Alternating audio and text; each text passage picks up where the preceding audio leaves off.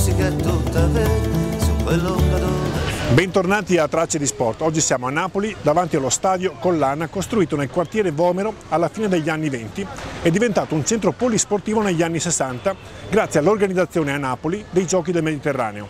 In questa lunga storia, un momento cruciale per lo stadio e la sua relazione con la città è stata la Seconda Guerra Mondiale. Ma ripercorriamo queste tappe grazie alla testimonianza di Nando Pellegrino, dirigente sportivo. Nasce come un campo littorio. Nel 1942, quando giocava il Napoli Calcio, questo impianto fu requisito e le SS lo trasformarono in un campo di concentramento.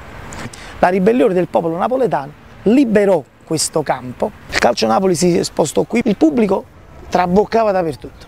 E l'allora Concetto Bello, un arbitro storico di grande personalità, prima di cominciare la partita chiamò il pubblico, lo fece scendere a bordo campo con la promessa che niente sarebbe successo e gli avrebbe fatto vedere la partita da lì. Chiaramente il popolo napoletano quando viene coinvolto in questo modo non successe niente. Oggi nello stadio Collana ci sono un campo di atletica, un campo da calcio utilizzato anche per il rugby, una piscina, una pista da pattinaggio, palestra in cui si pratica scherma, pesistica, ginnastica artistica e arti marziali. Qualche anno fa è crollata la palestra dedicata al basket e al volley, ma ciò nonostante qui si può fare esperienza di polisportività, del cui valore ci parla Claudio Nasti, ex judoka e attuale dirigente sportivo. È proprio questa disponibilità di interagire dove ci sono più discipline, secondo me si esce in un modo più, anche l'atleta agonista esce in modo più completo. A volte è bello solo magari fare una passeggiata e vedere un giro di pattinaggio, va bene? Mi metto là una mezz'oretta di musica e mi guardo dei volteggi, vabbè, già quello di per sé fa bene. Viene una famiglia formata una famiglia tipo formata da madre, padre due bambini e la mamma magari sa che può fare ginnastica a corpo libero, il papà può fare una corsetta per togliere un po' di pancetta e magari per aiutarsi a stare bene, mentre i bambini possono dilettarsi tra attrezzistica, judo, karate. Siamo entrati in questo centro polisportivo al sabato mattina molto presto, quando questo luogo di solito pieno era vuoto. Questo vi raccontano Luigi Ottani e Andrea Calderone.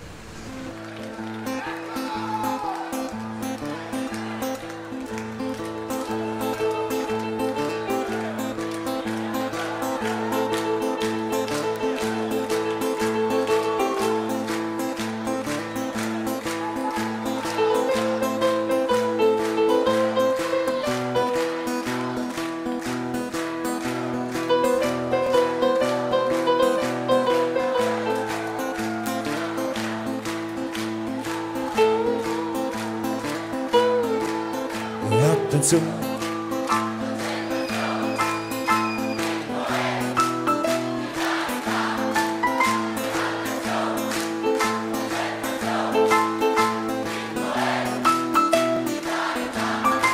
Devo dare di gas, voglio energia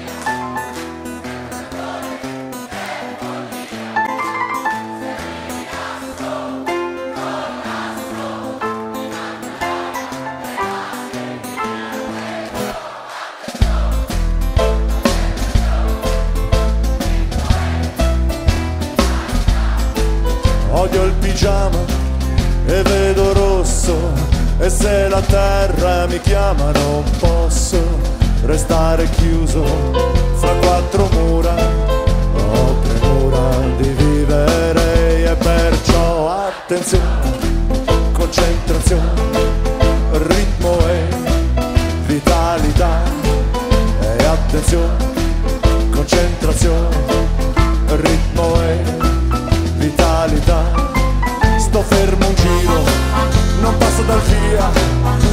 non gioco e vado via